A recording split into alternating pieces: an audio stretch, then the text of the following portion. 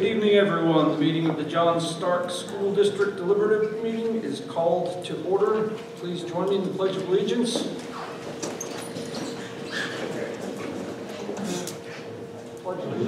the flag of the United States of America and to the republic for which it stands, one nation, under God, indivisible, with liberty and justice for all.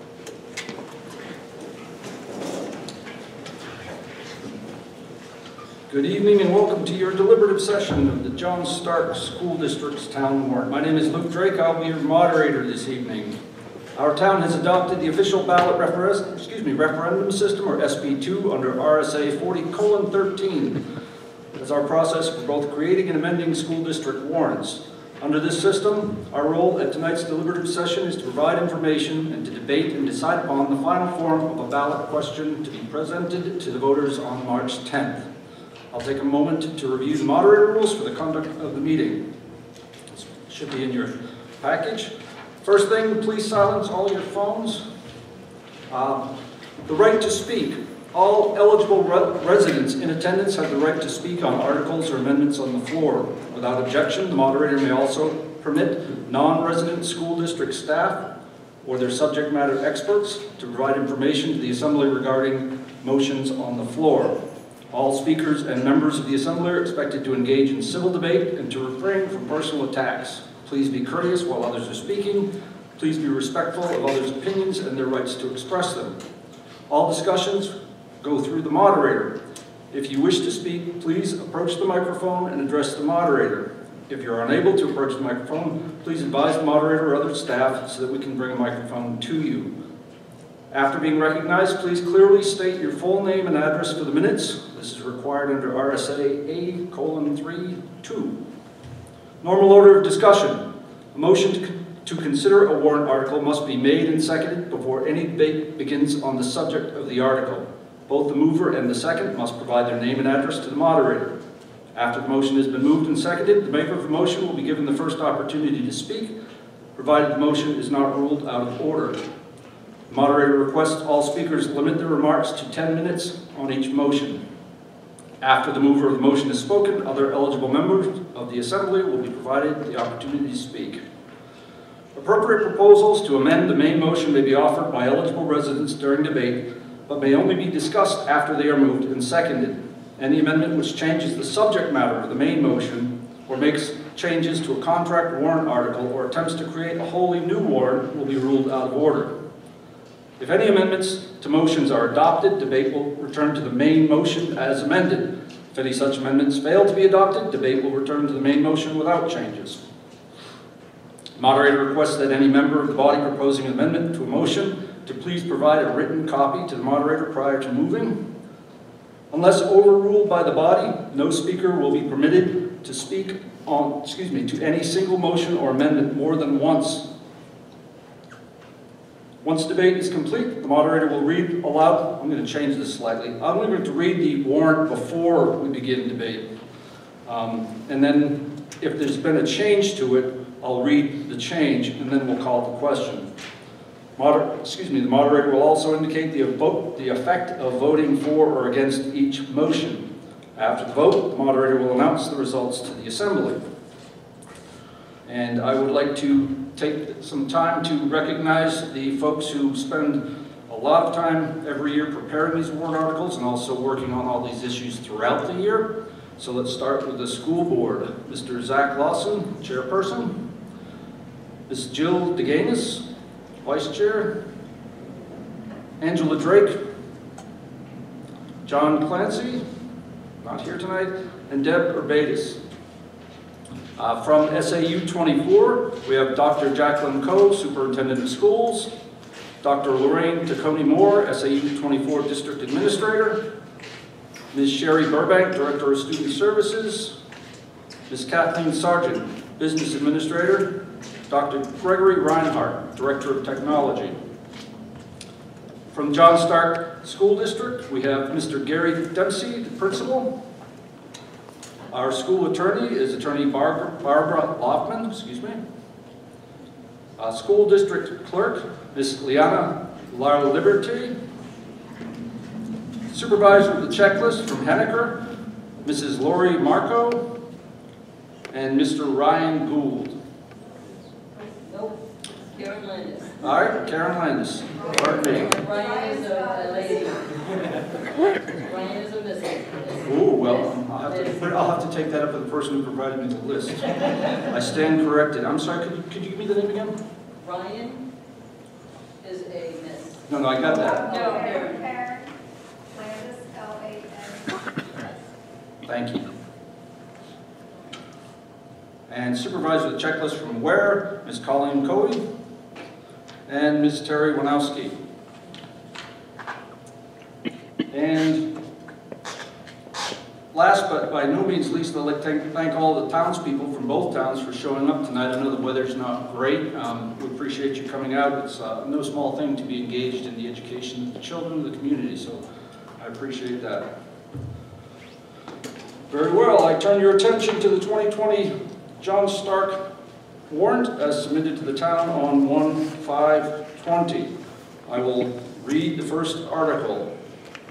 Article 1, shall the John Stark School District receive the report of agents, auditors, committees, and other officers chosen as printed in the annual report? Do I have a motion?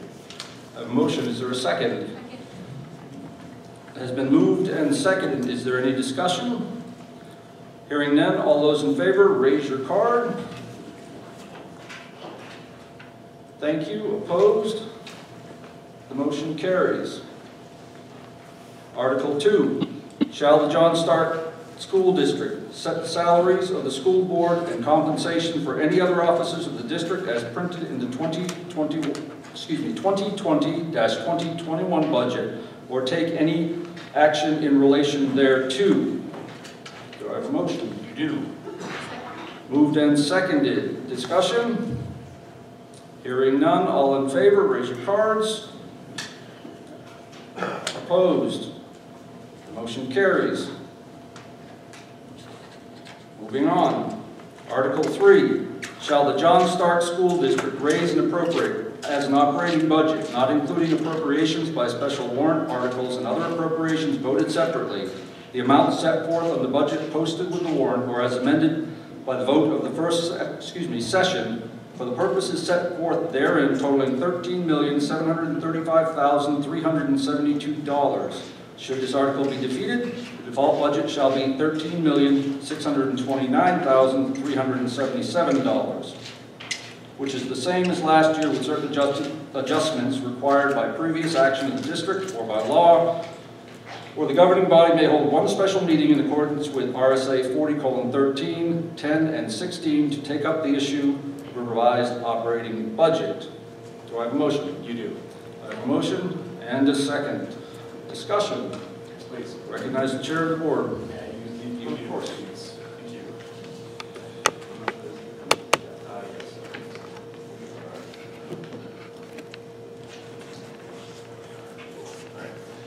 Uh, Good evening, everybody. Um, Thank you again for coming out this evening. Um, I will uh, actually attempt to be uh, brief, given that it's a Friday and that the weather is not awesome outside. Um, But I do want to take the time to go through uh, a couple of articles with you. Uh, We are on Article 3 at the moment, which is uh, typically our, our, our budget warrant, which is the case again this year. Um, I'm going to start with a, a little bit of, of um, sort of uh, uh, look back at, at some of the things that our students have done, uh, and just sort of talk a little bit and remind everybody what our core values are here at John Stark. Um, we're a community of learners who engage our minds in the pursuit of individual academic growth, social awareness, and community involvement. Our learning occurs in a safe and caring environment with regard, respect, and integrity. And you can see uh, the, the still life of our students here uh, doing as our core values would suggest. Um, that is my stepdaughter on the far left there. I would be remiss if I did not pause for a moment to share that she is in one of our pictures this year. Um, and our students, besides the classroom activities that they have, have been able to experience pretty amazing things here at John Stark.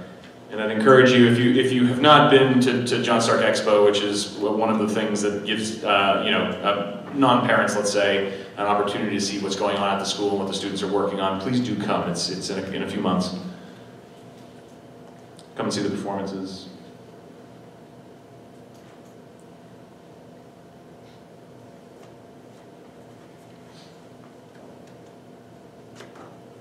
Um, and then the last thing I'll mention here is around the portrait of a graduate. Um, for those of you that have participated in that, some of the faces in the audience here are familiar. Thank you again for participating in that. Um, it is always, of course, helpful to have, again, non-parents involved in the process of what makes our school great and serves, serves the community, frankly.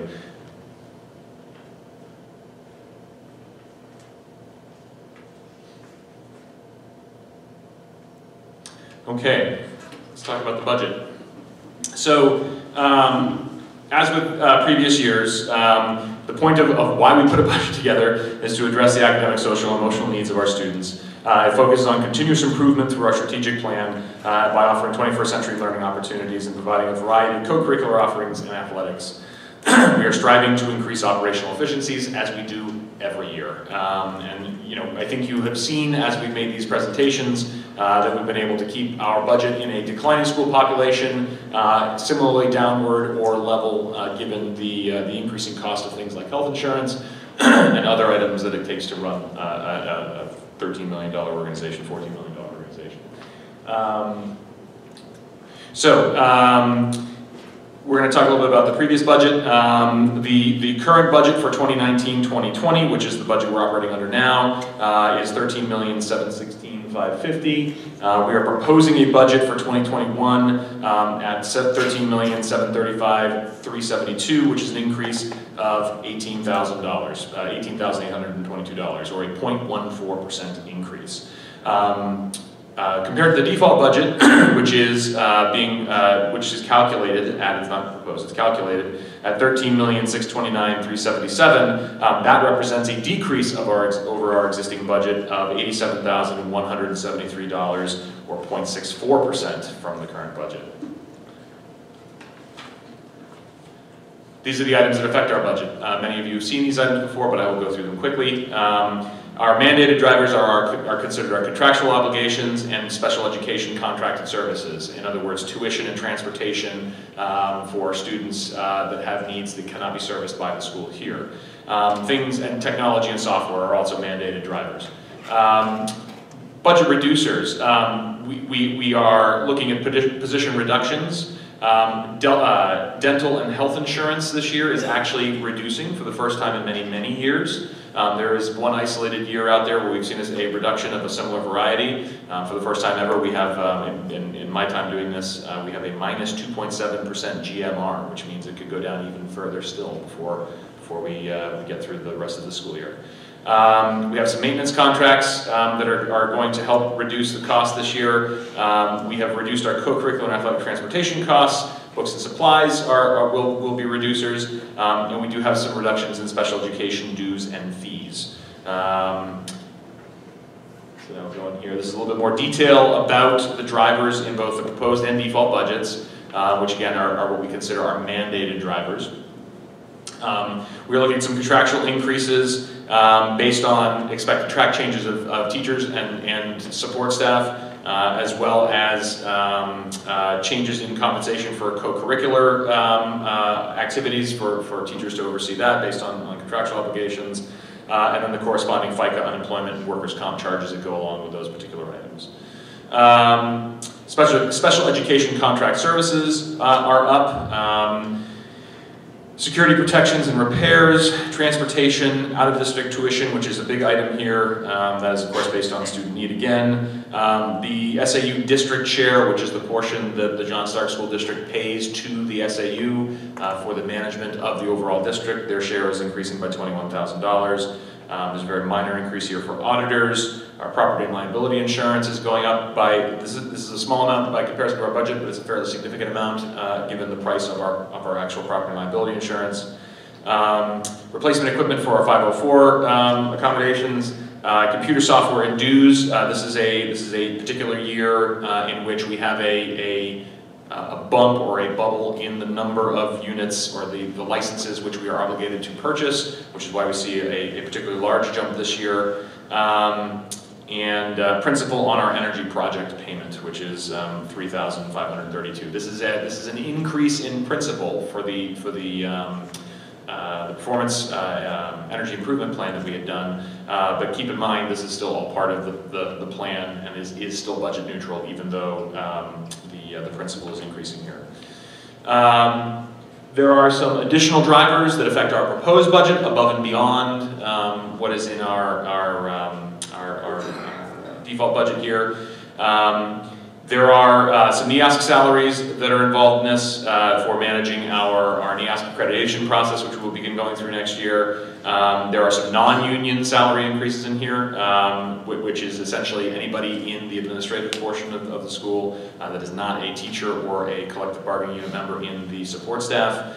Um, We are looking at a long-term substitute teacher uh, and some sixth period assignments. Uh, We, we have some other uh, contract services which we are looking to procure as part of this budget service, part of this budget. Uh, We have some, uh, some needed classroom and building repairs. Um, And for what it's worth, the detail behind most of these items is available on the SAU website. Um, We have, we have talked about the, um, uh, the the initiatives that are behind these items, uh, if anybody would like to get into that detail. Um, The classrooms, uh, we have classroom supplies and software, um, which will also be, be increased here. Uh, These are other items which, again, we have a bit of a bubble in needing to purchase, but they are not mandated. These are, these are items which we are, we are choosing or asking the voters to approve for us. Um, I realize I skipped over general transportation. Um, There's some changes there that we, we need to accommodate. Uh, We would like to purchase some new security and safety equipment, uh, some new art supplies, and then we have some co-curricular dues and fees that would allow for us to add some additional that are not mandated. Um, and then we have uh, a couple of other computer lines that are in here that again are, are not related to items that are mandatory. They are not items which we have already had. These would be new items that we are looking to add uh, to accommodate some other regulations or other legislation that's been passed down from the state of New Hampshire in order for us to help uh, prepare or, or protect student information. Um, and then this last item here, which uh, is this transfer to food service, uh, is an item that will show up in the detail of these budgets. Um, there is a there is a corresponding revenue line that's associated with this. However, we have to we have to identify that it is a, a budget expense driver because that is the portion which all of you would be approving at this at this point.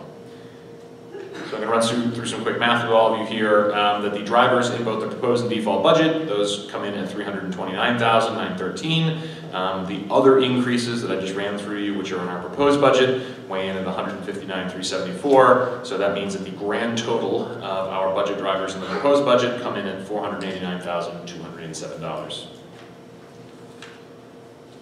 Now, there are some reducers on top of that. Um, so we have uh, seen some staff reductions, um, and we have also seen some census changes. Again, census changes mean um, uh, voluntary elections of our staff uh, to change uh, the, the level of insurance which they are, are currently purchasing.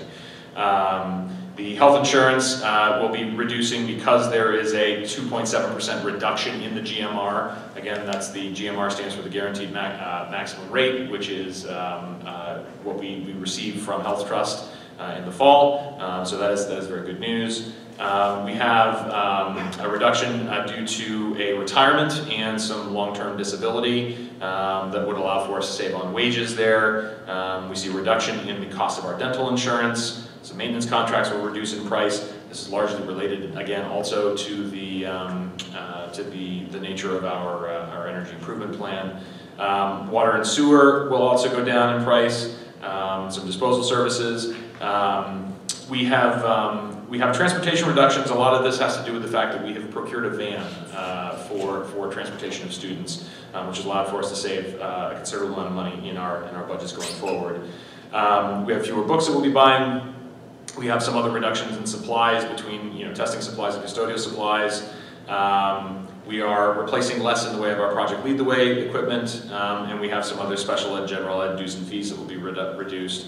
Uh, and then um, uh, our interest uh, will be reducing itself by $2,400 on that same energy improvement project. As our principal increased, our, our, our interest decreased here. And we have a couple of other miscellaneous items that weigh in right around $4,000.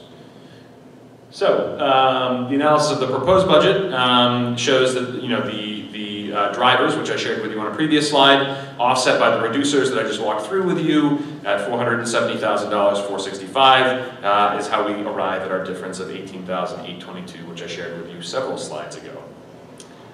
Okay, so uh, really quickly, as a, as a reminder for what a default budget is, uh, under SB2, uh, the default budget consists of the current year's budget figure minus one-time expenditures, plus or minus contractual obligations, anything related to health or safety issues, or anything mandated by law.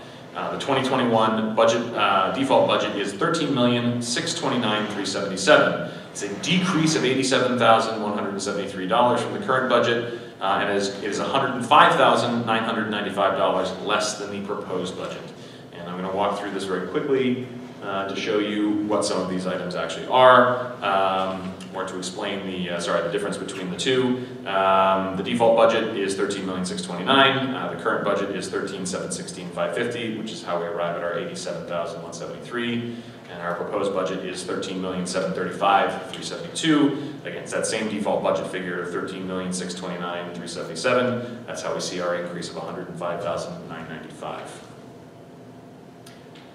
The, the thing that I will leave you with here, there's been, um, fortunately, many of you are members of the Weare Finance Committee in our audience tonight, so many of you are well aware of this situation here. Uh, there are some projected one-time funds from the state of New Hampshire that we will be receiving as we go into the next school year. Um, what's, what's being shown here is the total matrix of um, uh, what, what is being uh, supplied and how it is calculated, but the number that you want to pay attention to is this one here.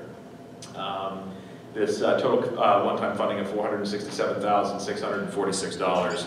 Um, This is the, uh, this is the same amount that we'll be talking about in Article 4 in just a moment, Um, but please do understand that this is one-time funding that we will be receiving from the state as we go into next year. Okay? That is all I had prepared for Article 3. Um, I think we can move on to the next portion.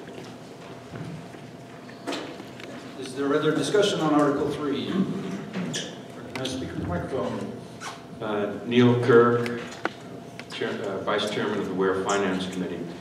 Uh, The Weare Finance Committee recommends this article with 11 of its members voting in favor and two in opposition. The proposed budget is greater than last year's operating budget by 0.14%. The default budget is a decrease of 0.64%. The committee supports the proposed budget and believes the Stark Board has made a good effort to keep costs down consistent with a lower student population. Thank you. Ma'am? Brenda Lash, Buxton School Weare. Could you just speak a little bit to the increase um, in the out-of-district tuition? Might be driving that, obviously, not. I will direct that question to members of the board.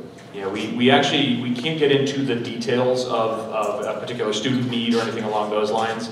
Um, and uh, fortunately, or rather unfortunately, however you choose to look at it, our student population with those kinds of needs is fairly small. So getting into those details, even if we are, if we do it in a general way, is, an, is unfortunately identifiable for those students. So, so we, we, we do not get into that territory.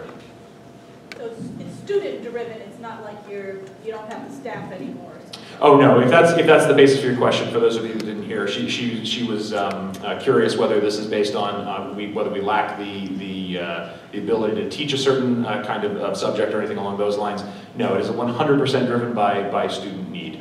Uh, and uh, historically, and, and maybe quite to the contrary, uh, we have at times brought in particular uh, talents or skills when we, we have enough of a similar student need to justify keeping that service in the district when, when it becomes affordable to do so. Thank you. Additional discussion? Thank you. Uh, Tom Flaherty, Sunrise Lane Weare. Uh, Last year, the district entered into a long-term lease for uh, improvement on the energy plant.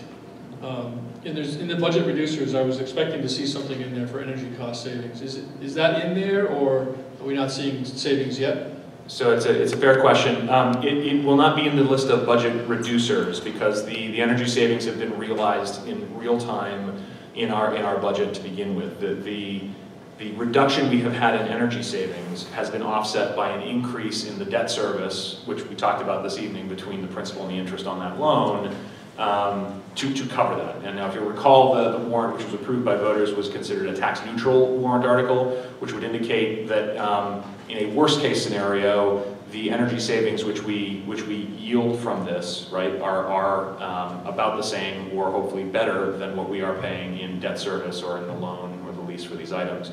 Um, so we don't, um, we don't take a well, a couple items here. There, there's, we, we are conservative in the, in the, in the sense that we are not going to bet that we are going to see further reduction in the future, which is why you do not see that as a budget reducer.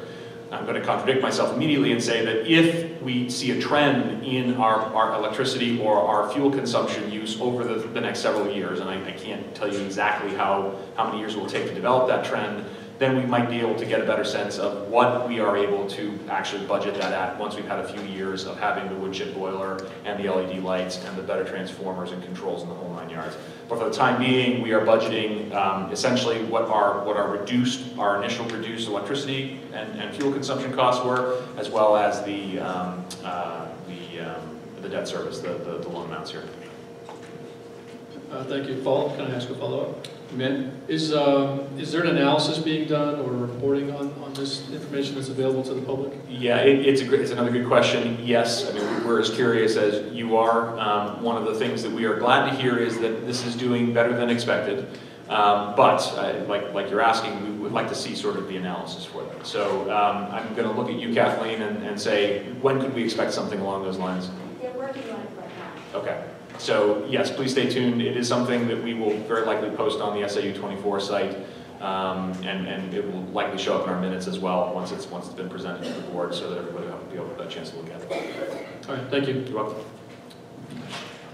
Is there additional discussion? Brian Nace, 195 Concord Stage Road. I had a question for the board on the reducer at start for three full-time equivalent. So that's three teachers that are gone? The equivalent of three teachers, I, I would, right, so there are some that are part-time positions. A lot of that happened in our foreign language department where you had some people that were teaching like a point six or a point four, those kinds of things, so that, um, think we stopped teaching Latin, and there's another one. So taking out all of the different um, positions like that that weren't gonna run full sections. So altogether, grand total, it's three full-time equivalents. And it was in the world language? Part of it's in world language, yes. primarily Special ed. a special ed.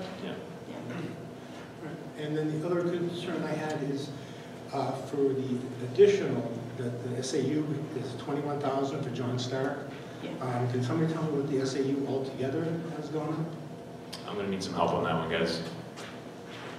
Part, well, part, part of what, what, what makes that confusing is even, even if the, even if the budget for the SAU does not go up, the, the district share between where John Stark and Henniker can change based on equalized valuations and student enrollments.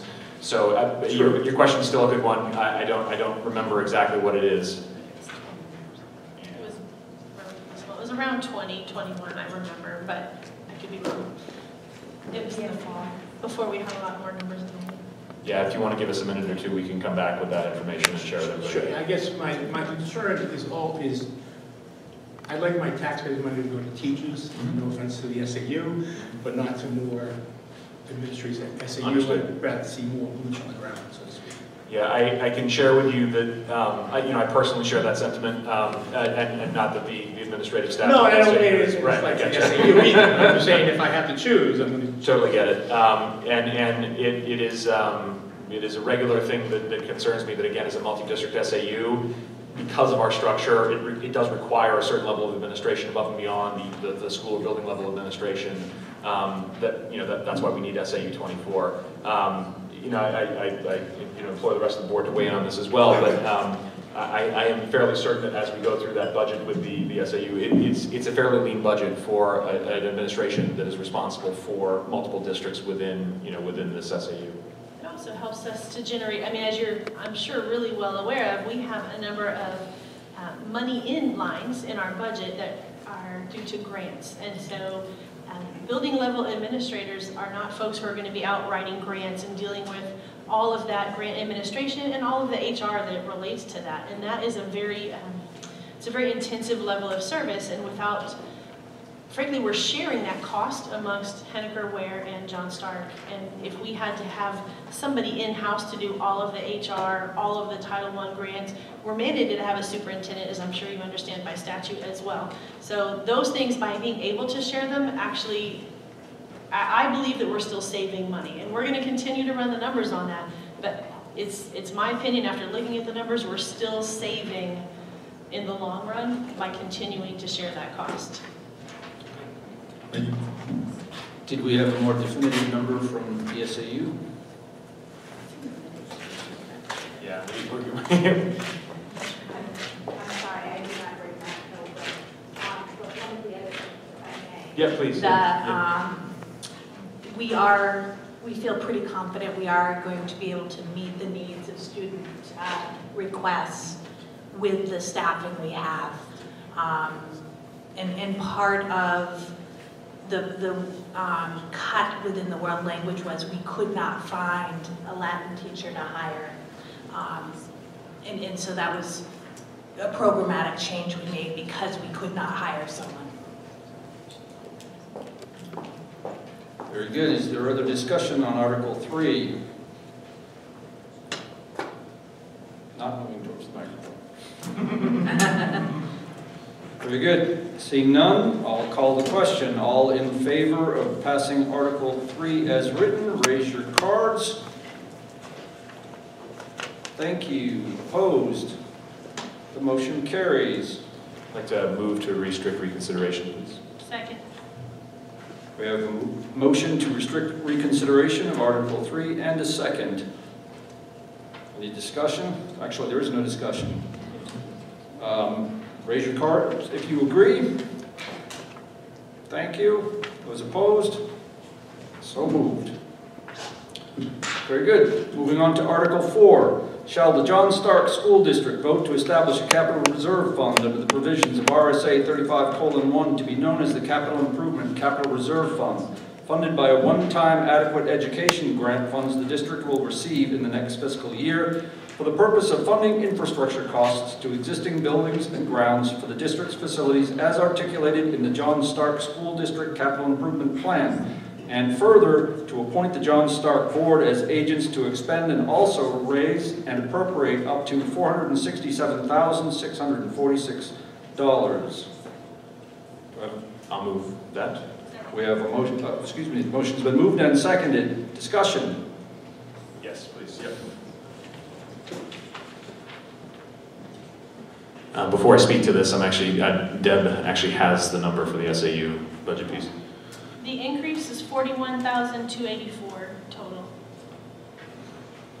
Yes, across, across all districts. And, and uh, remember, folks, I, I know you know this is a regional high school for, for Henniker and for Weare. Um, the SAU also administers uh, the, the, the town of Stoddard's um, schools as well. Might we have the total? If the increase is that much, I'd love to know what their total budget is, figure out the percentage. Is it proper to answer this point? I, I don't want to be I don't know, it's, it's not mine to allow. Is that okay? I mean, I can do it if I need to. It's a bit out of order, but I'll allow it. All right, so this is taken from the SAU um, board minutes from November, one million, four nineteen, three thirty-seven. And the increase? Was forty-one, two eighty-four. Thank you. Very good. We're moving back to discussion of Article 4 now. Thank you. Uh, So we have, we have one slide prepared here, uh, and th- this is actually the second time uh, that we've proposed an article of this nature. Um, The fundamental difference this year is uh, the one-time funding that we are looking from, uh, looking at from the state of New Hampshire. Um, But the, the way this article is designed to work is that um, uh, voting yes on this article would allow for the school board to raise and appropriate uh, a sum of $467,646, um, which is exactly equivalent to that one-time uh, set of funds from the, uh, from the uh, state of New Hampshire um, to establish this new capital reserve fund.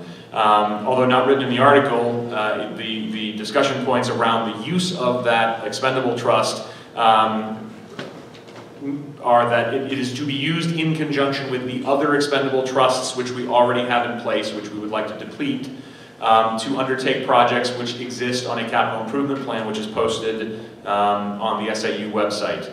Um, The the capital improvement plan will of course change and will evolve over time as projects are completed and new items and new priorities are identified. But the, the intention is to not be before you uh, during a particular uh, budget hearing or deliberative session uh, with a new surprise kind of item that shows up on a warrant somewhere, uh, but rather be able to show you in real time what it is that are the infrastructure items that are needed by the school here, and already know exactly where that source of funding is going to be coming from in the form of this expendable trust, which will of course require a public hearing from the school board to be able to distribute or disperse any funds from or use them for that purpose. So um, those are the high points for this article, um, keeping in mind that this, this is a one-time, um, this is an item that is funded from those one-time funds.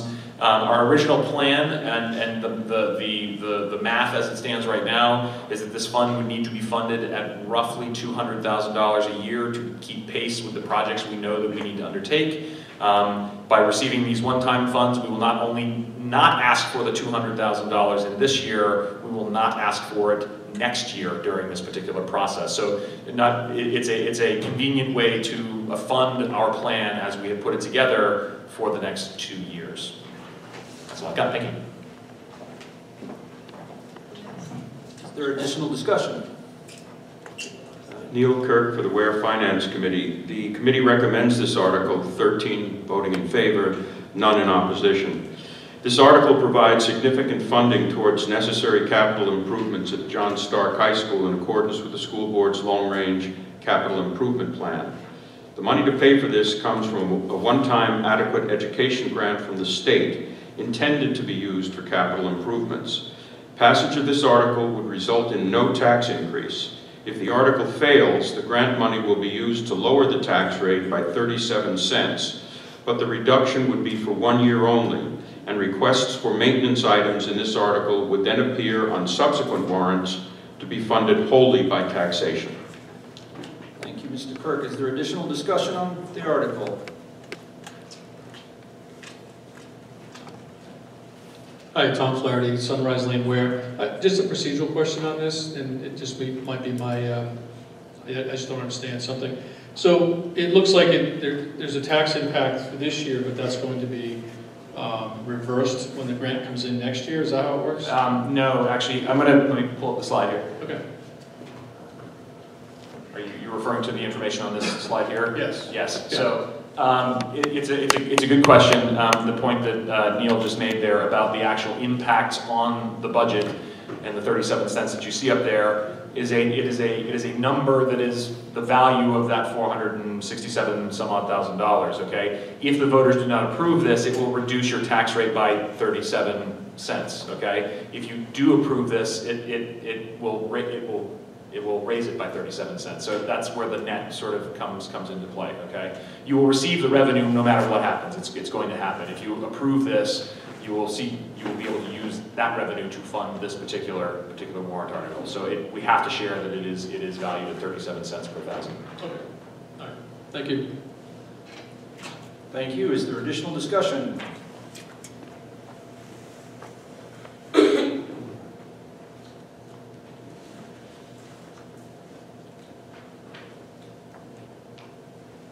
Hi, John Lawton, Oak River. Zach, I just have a question on the tax increase figure of 43 cents. Could you explain how that comes about? Sure. Um,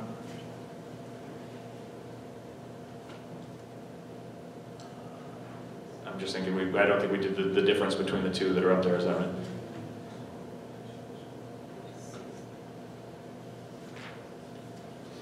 I mean, I look at the, uh, the budget we're currently in and the proposed budget, it looks like there's like a six cent difference, and then you have a tax increase of 43 cents. I'm just a little miffed as to what that represents.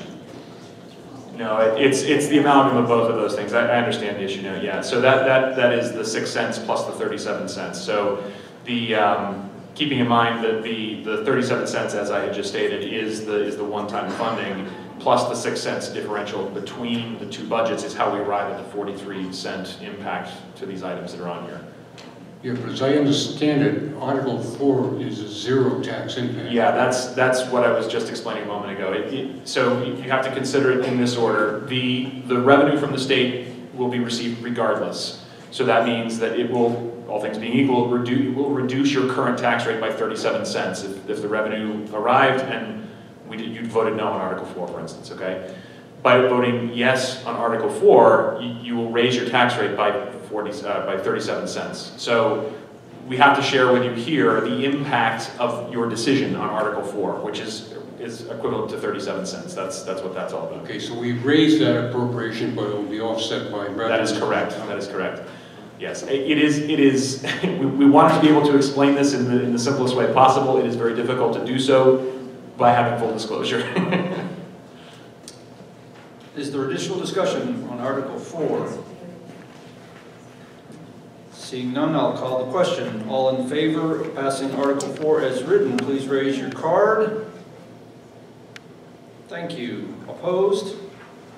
The motion carries.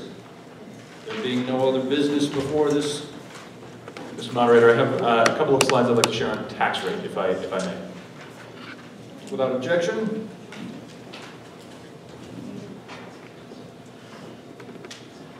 These are sort of the, the, uh, the requisite slides that are on here um, that will under, uh, identify what the increase is um, uh, per town here.